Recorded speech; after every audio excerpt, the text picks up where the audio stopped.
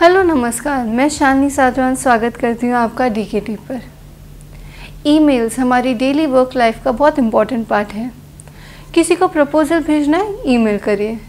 किसी को professionally connect करना है तो ईमेल करिए। इंटर्नशिप के लिए अप्लाई करना है तो ईमेल करिए।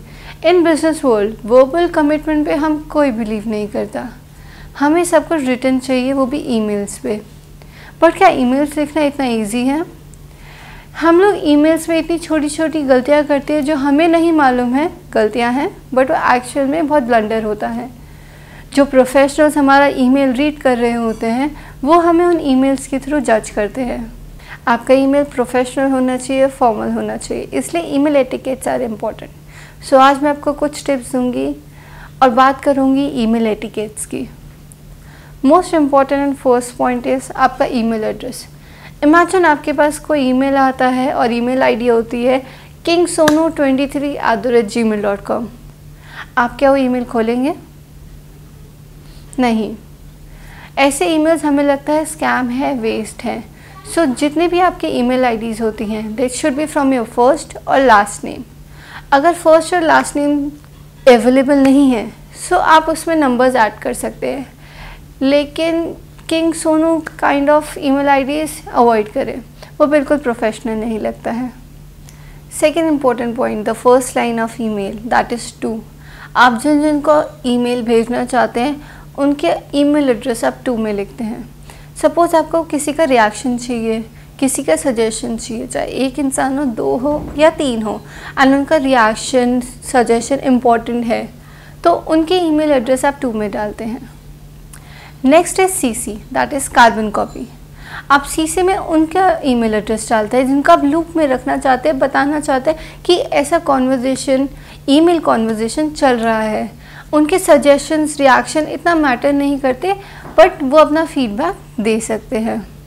The third point is B C that is blind carbon copy ये बहुत इम्पोर्टेंट होता है बिकॉज़ BCC में जो होता है, वो देख तो सकता है कि आपने टू में और सी में किसको डाला है। लेकिन जिनके email address to and C में होते हैं, वो कभी नहीं देख सकते थे बीसीसी में किसका ईमेल एड्रेस है। जो बीसीसी में होते हैं, वो रिएक्ट नहीं कर सकते रिस्पॉन्स नहीं दे सकते, लेकिन वो सारा कॉन्वर्जेसन पढ़ सकते हैं।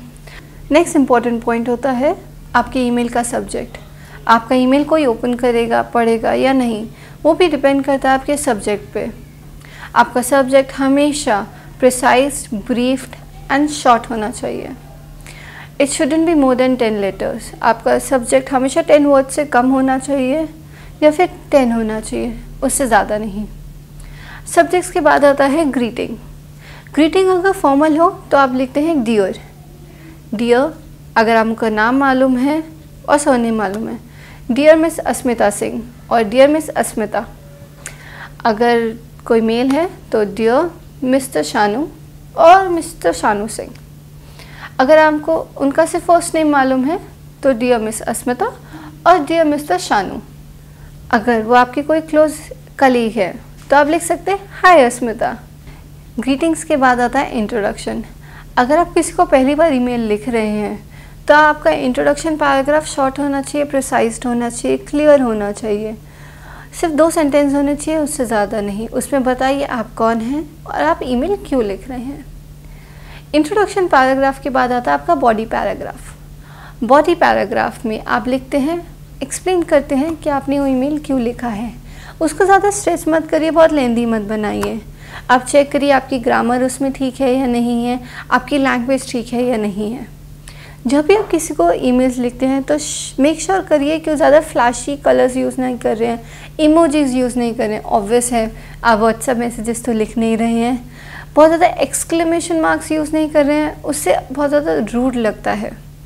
लास्ट आता है end of the email end of the email में आप थैंक करते हैं उसको, जिसको आप ईमेल लिख रहे हैं, और लिखते हैं सिंसियरली योर्स और योर सिंसियरली और योर्स ट्रूली उसके नीचे आप अपना नाम, अपना ईमेल आईडी अपनी कंपनी का नाम, अपना कॉन्टैक्ट डिटेल्स एंड इन्फॉर्मेशन लिखते हैं। ऐसे आप एक अच्छा सा ईमेल फॉर्मेट रेडी करते हैं और इससे आपका ईमेल बहुत ज़्यादा प्रोफेशनल लगता है। सो आई होप इन सारी टिप्स से आपको पता चलोगा वो भी छोटी छोटी चीज़ें जो पहले ना पता हो।